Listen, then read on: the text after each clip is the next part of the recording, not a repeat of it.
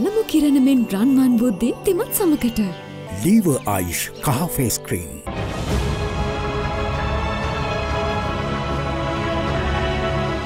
මෙරට සමස්ත කොවිඩ් මරණ සංඛ්‍යාව හදහස් පන්සේ සීමාව ඉක්මවා ගොස් තිබෙනවා.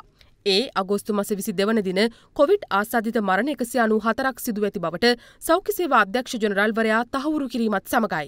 ඒ අනුව මෙරට සමස්ත කොවිඩ් මරණ සංඛ්‍යාව හදහස් පන්සිය හැට දක්වා ඉහළ ගොස් තිබෙනවා. රජයේ ප්‍රවෘත්ති දෙපාර්තමේන්තුව සඳහන් කළේ ඊයේ දිනේ වාර්තා කළ මරණ එකසිය අනු හතර අතර කාන්තාවන් එකසිය තුන් දෙනෙකු සහ පිරිමි පුද්ගලයන් අනු එක් දෙනෙකු වන බවයි.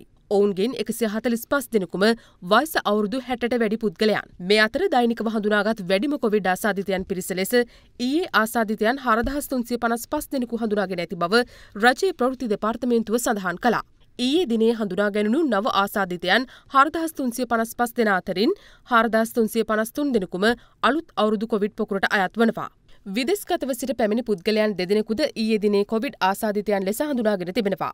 ඒ අනුව මෙරට සමස්ත කොවිඩ ආසාධිතයන් සංඛ්‍යාව තුන් ලක්ෂ අනු හතර දහස් තුන්සිය පනස් පහක් දක්වා ඉහළ ගොස් ඇති බවයි සෞඛ්‍ය අමාත්‍යංශය සඳහන් කළේ. ඉන් ආසාධිතයන් තුන් ලක්ෂ හතලිස් හතර දහස් තුන්සී අසුවෙක් දෙනෙකු සුවේ ලබා ඇති අතර තවත් රෝගීන් හතලිස් දෙදහස් හයිසිය අට දෙනෙකු ප්‍රතිකාර ලබමින් සිටිනවා. මේ අතර චීනය නිෂ්පාදිත තවත් සයිනොෆාම් එන්නත් මාත්‍රා මිලියනයක් අද අලුයම දිවෙනට රැගෙනයනු ලැබවා. ශ්‍රී ලංකන් ගුවන් සෙවට අයත් විශේෂ බාණ්ඩ ප්‍රවාහන යානයකින් චීනයේ බීචින් නුවර සිට අද අලුයම පහයි දහයට එන්නත් ඔගේ කටුනායක ගුවන් තොටුපළ වෙත රැගෙන ආ බව අද දෙරන වාර්තාකරු පැවසුවා.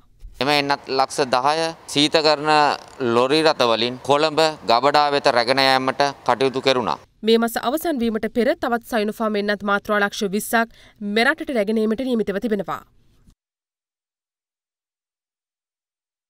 සංසිල්ක් ලොකු බෝතලේ සේදුම් වාර තිහා රුපියල් දාසයක ඉතිරියක්.